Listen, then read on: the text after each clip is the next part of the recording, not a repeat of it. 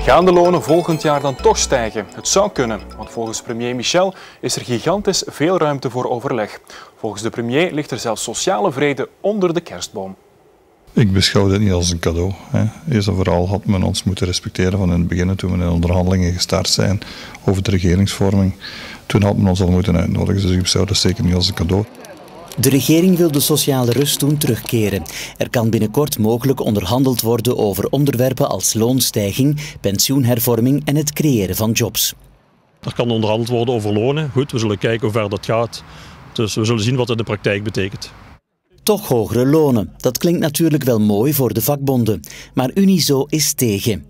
Wij blijven een land met een bijzonder hoge loonkost. Ik denk zelfs dat we nog altijd wereldrecordhouder zijn. Dus u mag niet aan ons vragen om daar uh, ja, terug naar uh, een grotere loonmarge te gaan.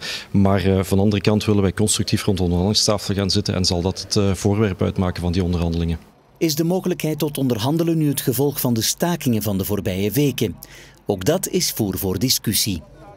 Ik zou niet zeggen dat het een rechtstreeks gevolg is van de staking. Het is een rechtstreeks gevolg van het sociaal overleg tussen vakbonden en werkgevers dat er de voorbije dagen is geweest. En dat is het allerbelangrijkste. En eigenlijk had dat sociaal akkoord ook eerder kunnen komen als we ook eerder rond de tafel waren gaan zitten. Het is een van de hele grote stakingen geweest. Ik heb ook altijd constant gezegd, we staken niet graag.